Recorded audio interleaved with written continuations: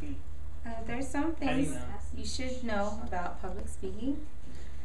When preparing your speech, make sure you practice, practice, practice before the day of your speech. Not practice before the day of your speech. I mean, practice days before your speech. Uh, when presenting your speeches, try to control the uhs and the ums if you can. I know you get nerve, no, you get nervous up here. It's a little hard, especially on uh, the non-graded speeches. The marbles can be a little intimidating.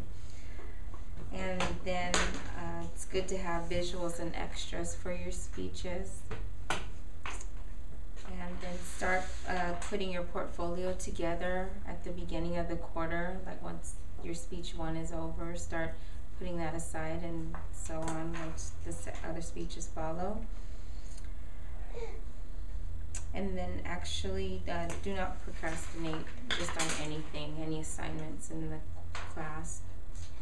Don't procrastinate at all. I did, and I learned the hard way. I actually started putting a speech together the night before. I'm talking like the beginning of outline, everything, interview, the day before my speech was due.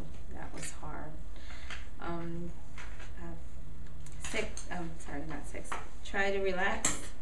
Others up here are also nervous, just like you, and viewing my recordings, my video recordings, it, you don't look as nervous as you feel.